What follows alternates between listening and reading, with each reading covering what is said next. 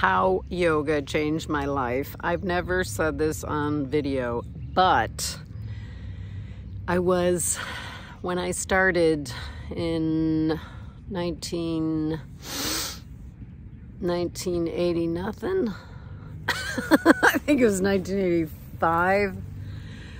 I was 35 pounds overweight, but I didn't know it. I just thought I was a healthy, I never lost my baby weight.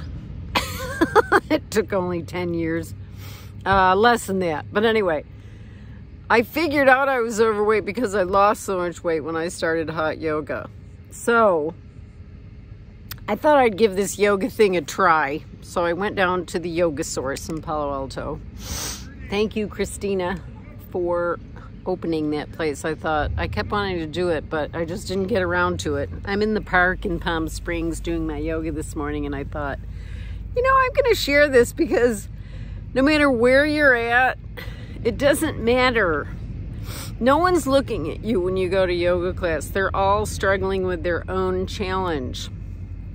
Okay, I know there's a lot of pretty outfits that are totally too expensive, and that's not what happens in India.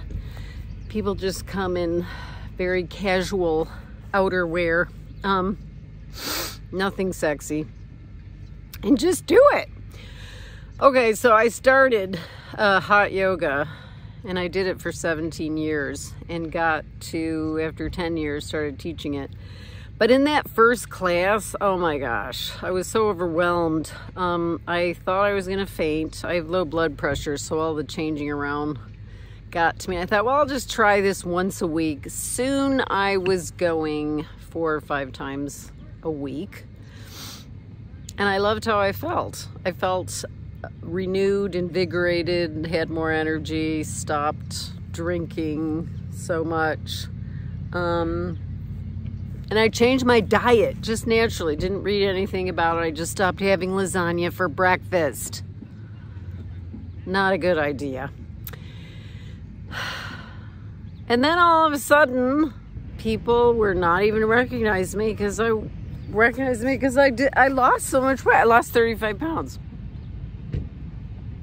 I remember Wolf, my son's pediatrician, um, dentist, pediatric dentist, came out to talk to me in the waiting room and he didn't recognize me and went back in. he told me later. And that's because I fit in my skinny jeans before skinny jeans were popular because those were the jeans I could wear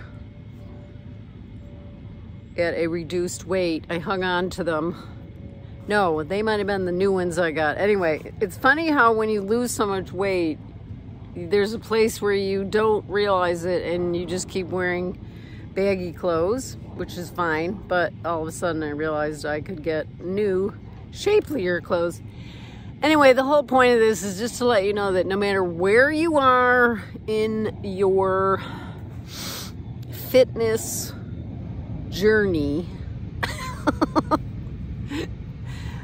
you can start anywhere.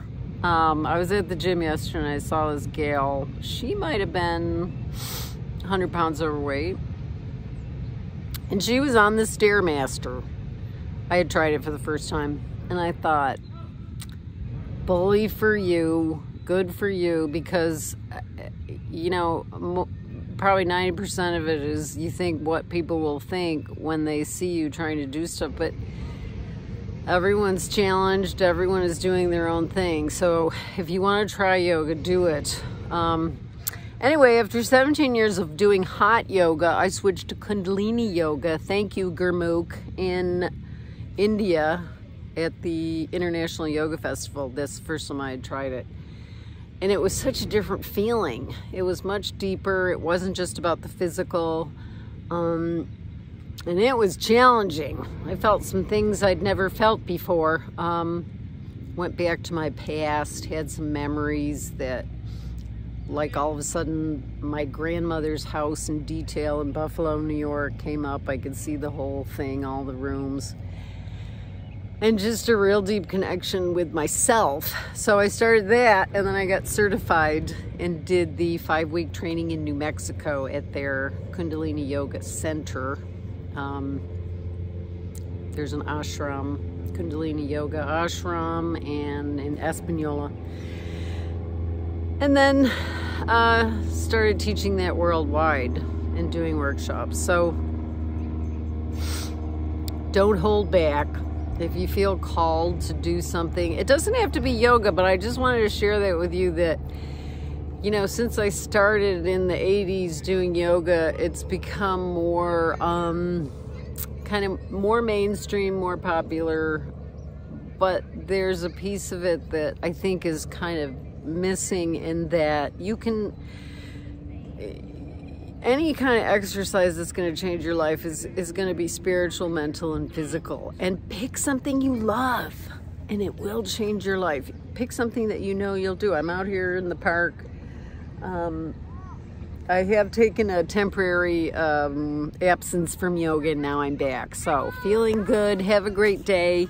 And if you have any questions, just uh, comment below. So, thanks for being here.